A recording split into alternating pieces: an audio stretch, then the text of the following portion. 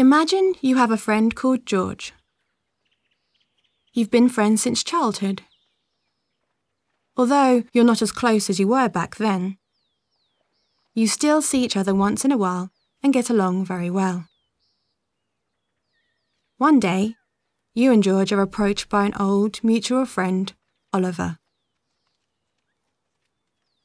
Oliver explains that he's had a run of bad luck and is raising money to cover tuition fees for his kids.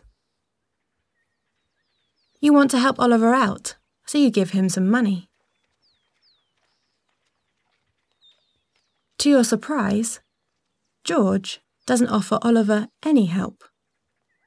You try to persuade him, but it's no use.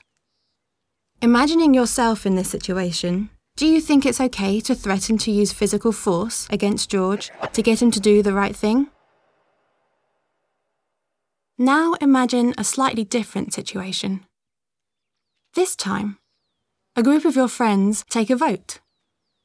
Six out of ten are in favour of threatening George to get him to help Oliver. Does this democratic process make it okay to threaten George? One last change to the situation. This time, imagine that many thousands of people have democratically agreed that a group, who we'll call the agents, should do whatever is necessary to take money from George and give it to Oliver's family. The agents don't explicitly threaten George at first. All they do is send him a bill. Like everyone else, though, George knows what will happen if he doesn't pay the bill. First, he'll get more letters demanding payment, and the bill will get bigger.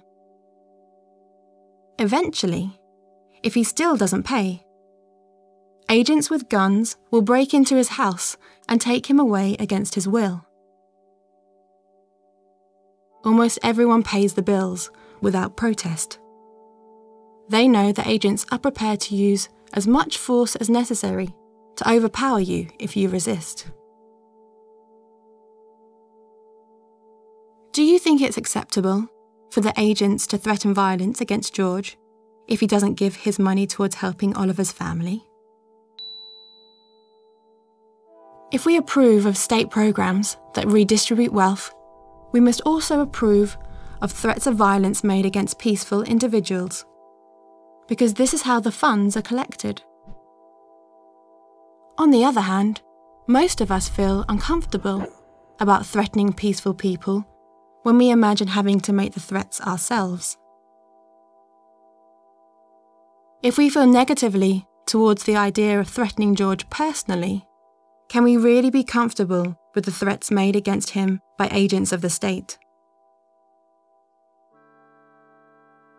Some people believe that voluntary interaction and spontaneous order are realistic and preferable alternatives to state coercion as a way of organising society.